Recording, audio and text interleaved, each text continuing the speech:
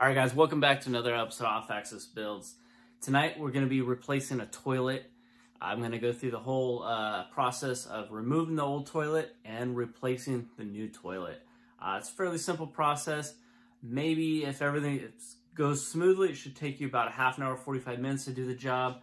Uh, hopefully, if the floor's not rotted out, uh, then that, that'll be a whole other story. But if you're just removing a toilet and putting a new one in, check this out. All right, guys. Remember to like, comment, subscribe, and hit that little bell for upcoming notifications. All right, guys. Check it out.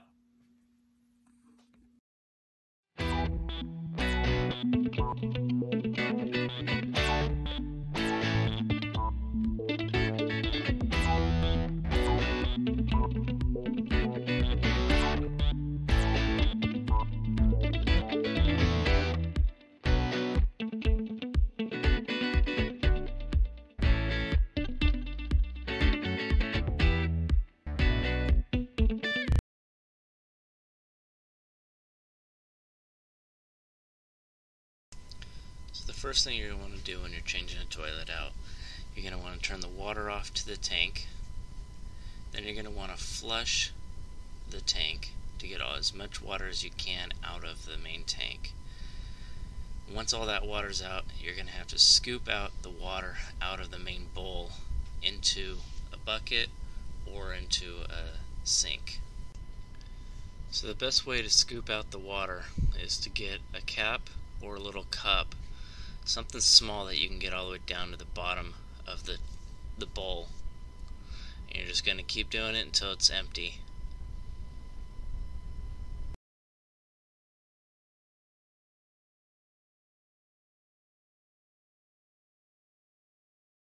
So now that you have most of the water taken out of the tank and the bowl, you can go ahead and remove the line feeding the main tank. Uh, before you move that line, you want to make sure that you have the water completely off. I went ahead and turned off the water before I started the job, which is the best way to do it.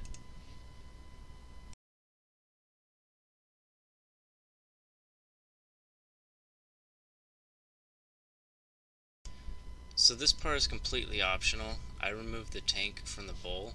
In order to do that, you need to remove the screws in the bottom of the tank and the nut on the bottom of the, the bowl. I did this to lighten it up to take it downstairs. So the next step is to remove the caps that are holding the, the bowl down to the ground. And those caps are little plastic caps, just get a screwdriver and pop them off. And the nut on the inside is actually a 7 16 nut.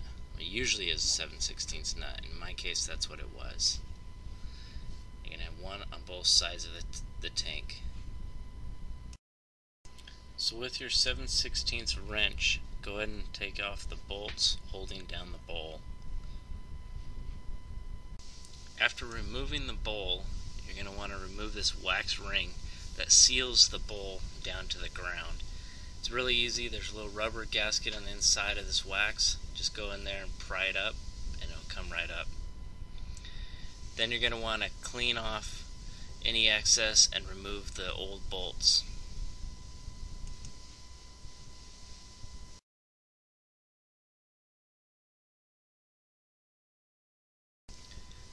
So as you can see here, we chose an American Standard toilet. There's many other brands that you could use. Uh, this one happens to be a full toilet in a box. Um, it's really nice. It comes with the bowl, comes with the tank, the bowl lid, uh, seat, and all the hardware that you need to install this. It even comes with a wax ring. So the first step is to get this rubber gasket onto the tank itself. Uh, just go and press it on. It'll fit around that nut on the bottom of that tank. Then take that tank and set on top of the bowl and with these nuts you're going to bolt it on. One on each side of the tank. Make sure you tighten those nuts down tight enough to make a good seal between the tank and the bowl. Some kits provide a tool for installation. This one happens to have a tool to tighten that bolt down. If you don't have that get a uh, half inch wrench and, a, a flathead screwdriver on the inside of the tank and just tighten it down.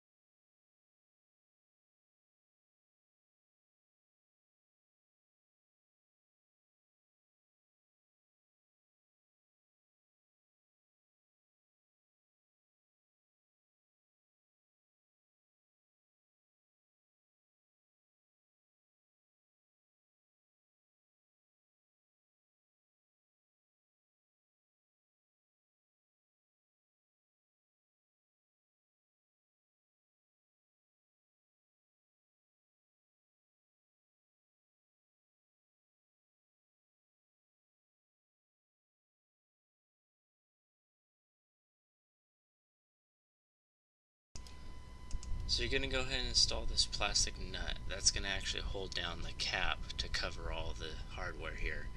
Once you have that snug, you're going to put a metal washer on top of that and a metal nut and tighten it all down to hold the toilet down. Once you have it all aligned where you want it, go ahead and cut the bolt off and then put your cap over the, all of it. Now you're going to want to reinstall the water hose to the tank and turn your water on slowly to make sure you don't have any leaks. So you're going to want to check for leaks at the bottom of the bowl and the tank, at the floor, and also at the hose connecting the tank to the wall.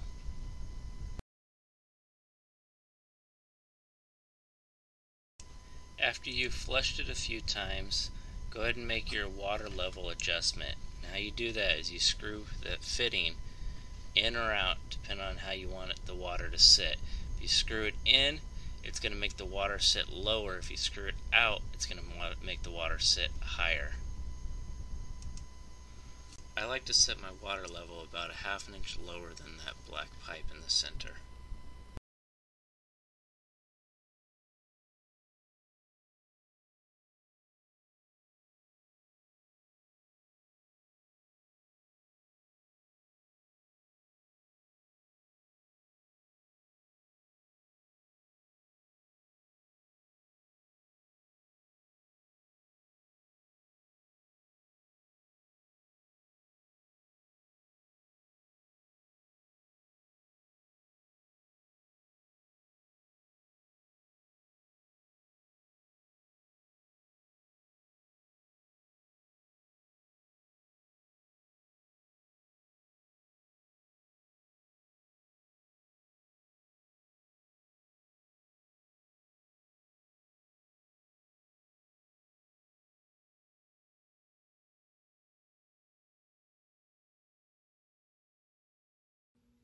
All right, guys, thanks for watching another episode of Off Axis Builds. I hope you enjoyed uh, this DIY Friday of uh, replacing a toilet.